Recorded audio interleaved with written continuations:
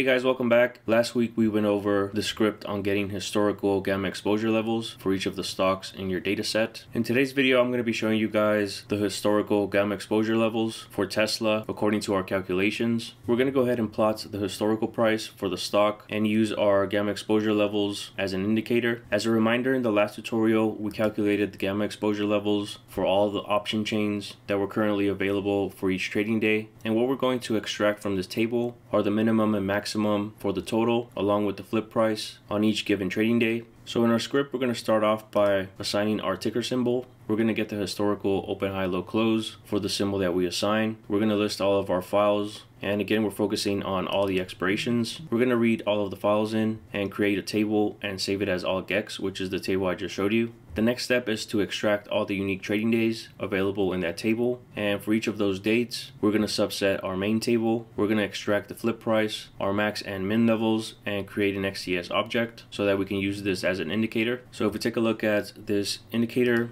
we have each trading day, our min, flip price, and our max gex. So the values here represent the points on the curve. So if we take a look at a chart here as an example, this would be our flip price that we have calculated. The min gex is just the lowest point on the short gamma side and the max gex is just the highest point on the long gamma side. And as the stock price moves into this green shaded area, the theory is that dealers will be more inclined to purchase options to hedge. And the opposite is true if the stock price moves below this flip point into the red shaded area. So we're going to test that theory in the script. But before we do that, we need to go ahead and merge this indicator along with our stock prices and also lag each of these values by one period since these are the calculated values at the end of each session. In other words, we're going to go ahead and apply these values the following day. So in our next block, we're going to go ahead and merge our stock price with our GEX indicator, lag each of the values, and omit any NAs. Now we're going to go ahead and plot this as an indicator. So let's go ahead and maximize this plot.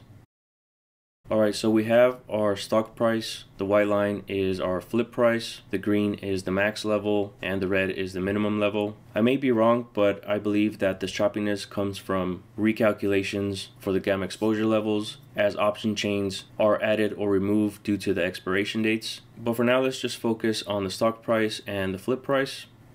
So by looking at the chart, we can kind of see that the theory holds true. As the stock price is above this white line or the flip price, there seems to be a continuation to the upside. And we also have some instances where the stock price is below the flip price, and we do see a continuation to the downside until the stock crosses over our flip price. So since we have this data, let's go ahead and generate some trading signals.